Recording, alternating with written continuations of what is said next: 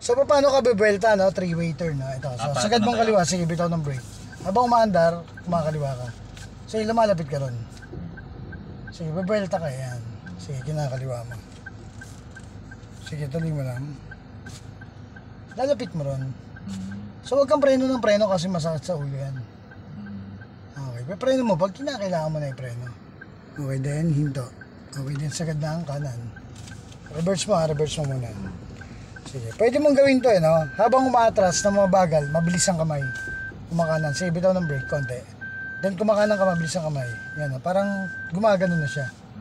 Yan, tingnan mo. Okay, sige, bitaw ng brake. Yan, no? kumbaga, kinakanan mo sagad. Sige, bitaw ng brake.